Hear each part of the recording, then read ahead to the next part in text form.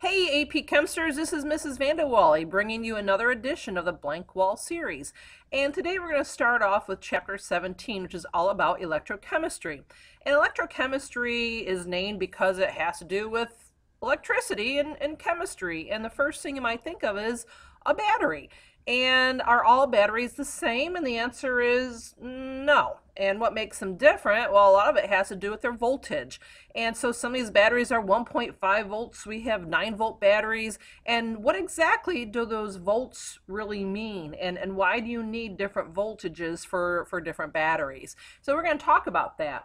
Another thing that we can talk about is something like this. I don't know if you can tell from the picture, but this is an electroplated, a silver plated dish or, or platter. And why would it be silver plated? Why isn't it entirely all silver? Well, it's probably because of the cost. The cost would make it way too too expensive to make a platter like that or a dish. Um, and so what they do is they put a fine, fine coating of silver on it, and that's called silver plating. Uh, you might have some of these at home, or maybe your grandma does. I don't know. And another thing that we could talk about is, I know you can't really tell what that is, but that has been a galvanized pail. And, and what does galvanized even mean? Well, in industry, uh, they like to use iron and steel a lot uh, for, for structural issues and, and like light poles and things like that. But the problem is iron rusts. So if we can put a protective coating of zinc on it, then the iron underneath does not rust. And so it's protected. So a galvanized piece of metal, typically steel or iron, has been protected by putting on a coat of zinc. And that is called galvanized steel. And so that kind of brings us to our first section in chapter 17.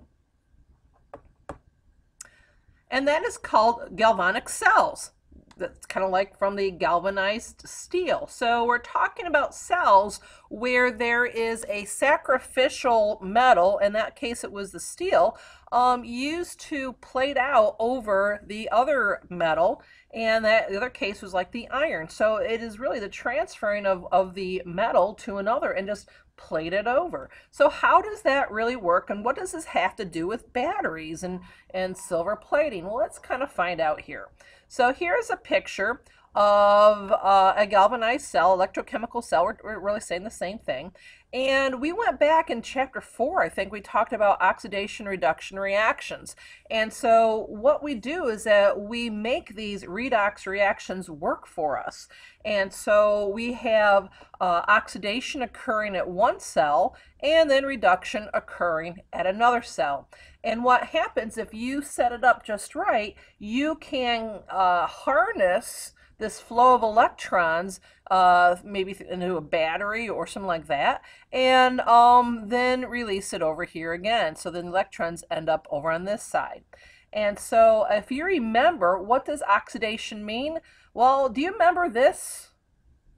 Here we go. Oxidation, loss of electrons. Leo goes grr. Do you remember that? Leo is your oxidation, loss of electrons. And we have a, a term for that. Where does that occur? It occurs at the anode. And what the heck is that picture over there? That is the picture of an ox.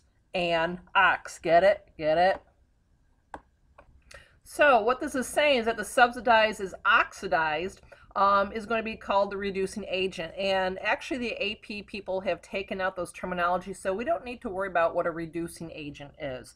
All you need to worry about is that oxidation is Leo, loss of electrons, uh, and anox, uh, oxidation occurs at the anode.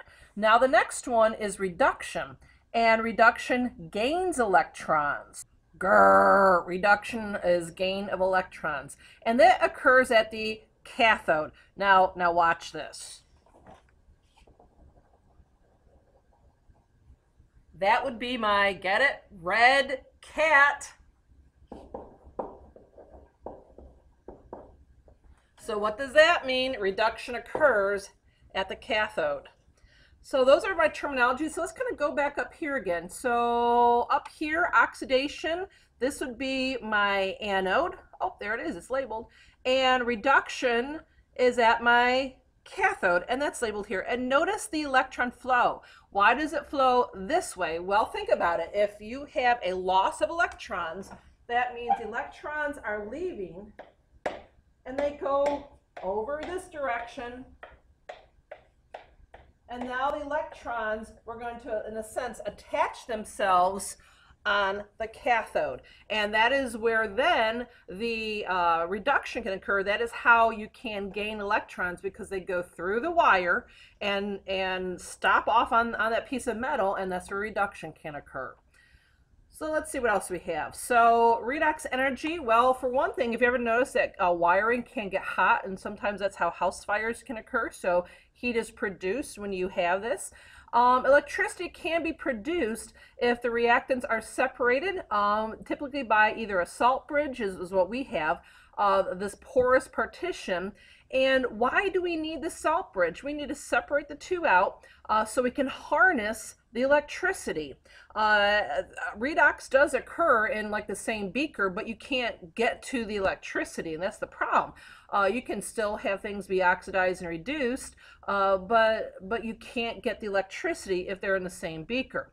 But if you have them separate, then you can harness the electricity and you can use this like for a battery or, or to light up a light bulb or whatever you really want or whatever you need electricity for. So anyway, um, the electrons are going to travel through that wire. So the galvanic cell is a device in which chemical energy is changed into electrical energy. And once again, oxidation occurs at the anode and reduction occurs at the cathode. Now finally we have the cell potential. The driving force is on the electrons and this potential is measured in volts.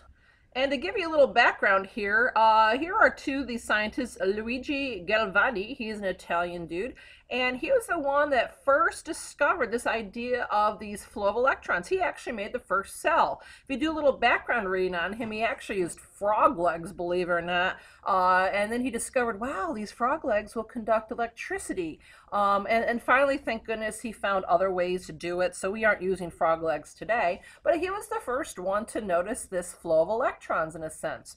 And then here's the other guy, Alessandro Giuseppe Antonio Anastasio Volta. Uh, and I have a hard time remembering Danny's name. Holy cow. Uh, but anyway, Volta was the one that actually came up with this idea of volts, which is this electron uh, potential difference and we're talking about a difference. We're talking about subtracting in a sense, um, and it's a difference between what? Between the two metals. So depending on which metals you use, um, your differences are going to be different. And the very first battery was actually created by Volta, and he ended up using zinc and copper to make his first battery. And that's probably the most common pairings as well. So uh, we still recreate his first battery even today. So back to our notes again, one more time, this potential or potential difference is measured in volts, named after Volta. So let's go on with problem number one. The picture below is of electrochemical cell. Describe what is taking place. Well, a lot of the pictures already doing, you know, describing for you. Um, so notice that at the anode, we have the zinc being oxidized. And what does that mean? It is losing electrons. So in other words, electrons is a product. So the, the zinc right here is going from being a metal state and into making zinc ions. So you are actually pitting or you're decreasing the amount of zinc metal as this reaction progresses. And so if the, the zinc metal is losing electrons, then where are those electrons going? They're going through the wire, through the voltmeter, and be depositing on this copper um, piece of metal there too. And so what happens there? You have a solution of copper ions and those ions, notice they're positively charged, are being attracted to the negative charge on the uh, copper piece of metal. And so the copper ions will then gain electrons, become more solid metal. So copper is actually being deposited, additional copper is being deposited on that piece of metal. Now what's the purpose of a salt bridge? Now, as you may notice, you cannot harness uh, positive and, and negative charges. They always have to be equal.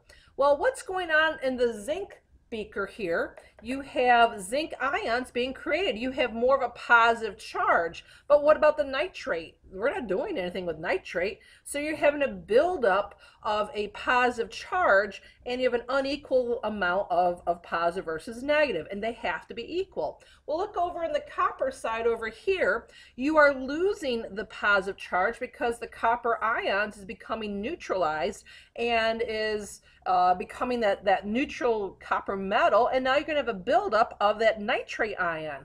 So what does the salt bridge allow? It allows for the nitrate to go from the one beaker into the other so that there's always an equal amount of charges. As you are gaining a positive charge in the zinc beaker, you're going to gain more uh, nitrates coming through the salt bridge.